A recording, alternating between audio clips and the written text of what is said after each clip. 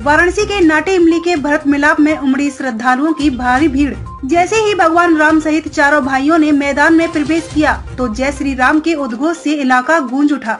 लगभग सैकड़ों सालों से चली आ रही परंपरा को देखने दूर दूर से लोग पहुँचे। आज के इस चारों भाइयों के मिलन को देखने से लोग भाव विभोर हो जाते हैं। यदुवंशियों ने चारों भाइयों को कंधे पर उठा मैदान में लाए बाजे गाजे के साथ मिलन हुआ। यदुवंशियों ने चारों भाइयों को कंधे पर उठा मैदान में लाए। बाजे गाजे के साथ मिलन हुआ।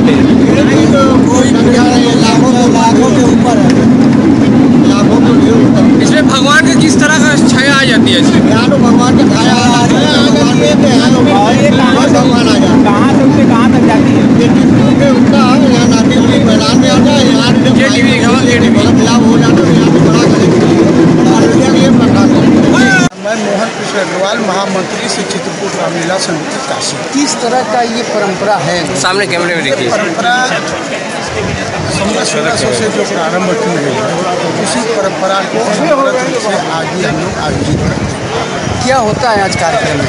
आज चौदह वर्ष के वनवास के बाद जो चौदह दिन की प्रतीक की लीला भगवान राम जो है और जो कहा गया है मानस में भी और वाल्मीकि के में भी यदि चौदह वर्ष समाप्त होने के पूर्व, सूर्यास्त के पूर्व, यदि भरत जी से राम जी नहीं मिलेंगे तो मैं प्राण त्याग तो वो जो है इस स्थान पर जो है राम जी आते हैं चित्रकूट से और भरत जी अयोध्या से जो है आते हैं और यहाँ पर मिलन।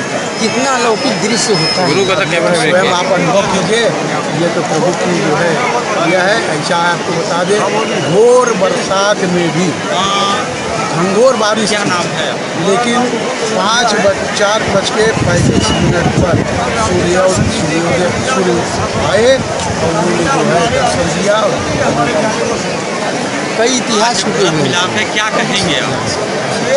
तो कोरोना काल में बंद हो गया था अब शुरू हुआ है। कितना खुशी नहीं कोरोना काल में देखिए एक चीज़ मैं आपसे कहना चाहूँगा बंद नहीं हुआ स्थान पर। सीमित अब अपने स्थान पर आया है कितना प्रसन्नता व्यक्त कर रहे हैं। अद्भुत।